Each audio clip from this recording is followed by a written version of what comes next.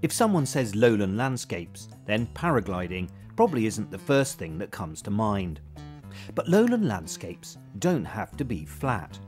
And that's why, despite being a lowland landscape, the gently rolling or undulating hills of the South Downs have become one of the most popular paragliding spots in the UK.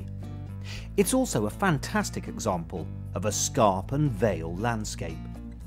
To get to this spot, the paragliders make their way up onto the South Downs via the dip slope.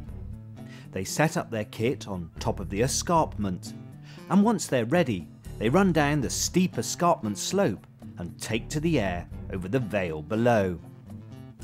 The paragliders might not know it, but the main reason this area makes a great launch pad is because over millions of years, different rock types have been affected differently by physical processes like weathering.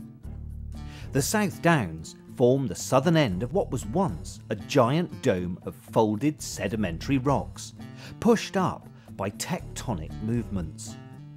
Because the chalk is more resistant than the clay beneath, it weathered differently, producing the steep escarpment and gently sloping clay vale below.